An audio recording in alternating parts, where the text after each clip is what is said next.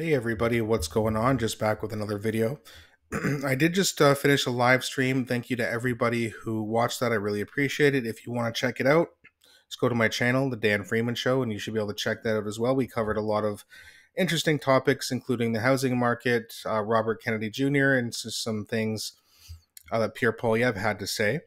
Now, I also have this here um, one thing I did want to make a separate video on was, and I'm sure you guys know who Jordan Peterson is. He's a very famous uh, psychologist. Uh, used to work for, I believe, the University of Toronto, and as you know, he's been saying some, I guess you can consider controversial subjects. I don't necessarily consider them that way, but of course, the leftoids and the left bots, they'll feel it's controversial and that he's dangerous for what he's thinking, which is absolutely nonsense but he did get into some hot water with the Ontario College Association, and they basically said that he had to enter some re education program, some re education mandate, so that he could be, you know, more sensitive and more nice and basically don't tell the truth, is what they're saying. And of course, you know, this happened, a couple, I think, a couple years ago now.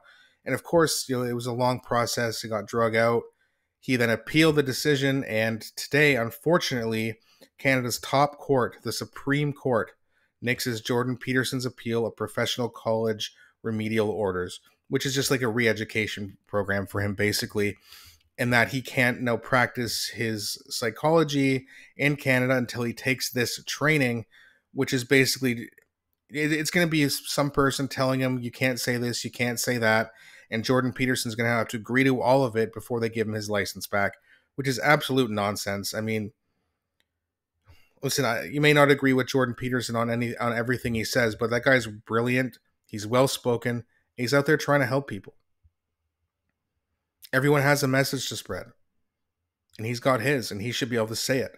We used to live in a country where you could practice freedom of speech, not anymore. So Pierre Poilievre just said another government bureaucracy threatens to ban a Canadian from practicing his profession because he expressed political opinions the state doesn't like. Now they force him to go a political re-education, bring home free speech for Jordan Peterson and everyone else. Yeah, and again, Pierre Poilievre, he's saying the right things. See, when he talks like that, you know, he's pandering to the populists, to you know, libertarians, to people in the center, which I think most people probably fit into that, whether you're center right or center left. I mean, this is nonsense. I'm glad Pierre Poilievre is defending him but I mean, it, it's just it's it's nonsense. I mean, it, Jordan Peterson has said some things about Trudeau that are absolutely true. Calling him a totalitarian and a tyrant, it's like okay, yeah. When you commit treason twice, those are some pretty good words to describe you. But now he's got to go through some re-education. Pro- Thank God he's, you know, he's he doesn't need to be a psychologist to make money. Um, but people do need good psychologists, so it, it it's not really I mean, it hurts him. You're taking away his craft, but it also hurts his patients because now they can't see him anymore. You know, I know he's in the states a lot now these days, but you know, and I'm sure he can practice down there. But then again, are they going to take away his right of freedom of speech too? It's just absolutely nonsense. And so there's this article here from the National Post, and this is what Jordan Peterson had to say on X. He said, "Update regarding Canada Supreme Court." The court has rejected my appeal regarding the decision of the Ontario College of Psychologists to subject me to indefinite re education.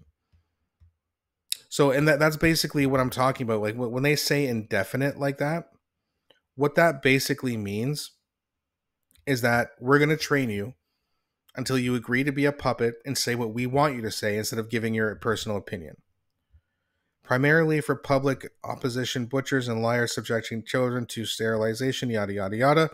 And again, you know, where's Doug Ford in all this? And again, I, know like he can't just overrule the Supreme Court, but why is he not stepping up and, and at least making himself heard?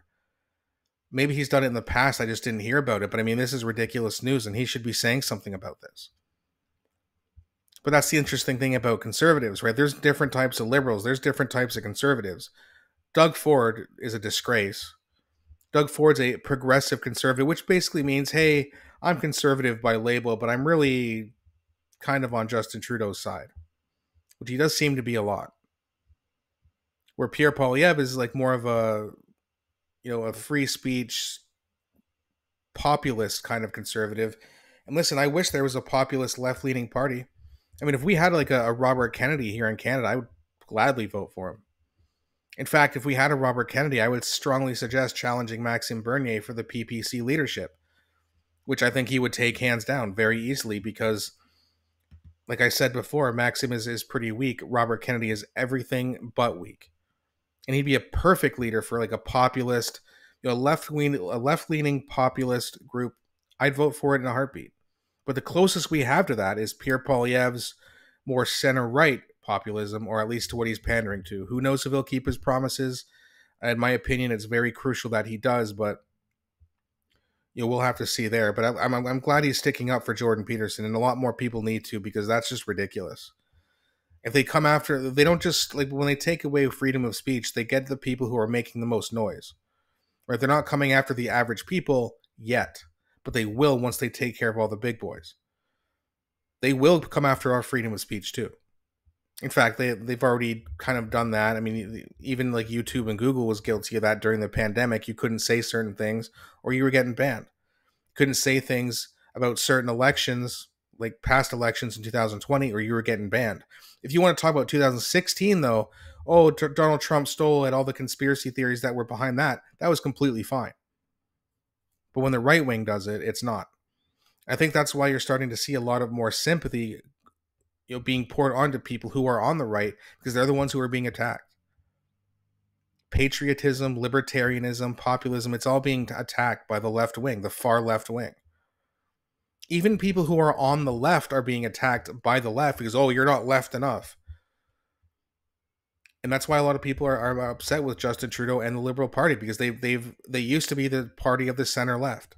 They're not anymore. They're the party of the far left, right? And if you have somebody who's on the far left and they look over to their right, they're going to see people on the left, but who are closer to the middle.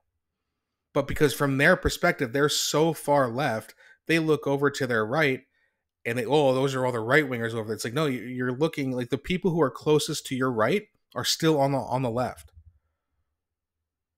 But because they're far right of you, you think they're on the right wing. They're not. Someone who's center left is going to be viewed as a right wing conspiracy theorist by someone on the far left because that party, that ideology is completely broken.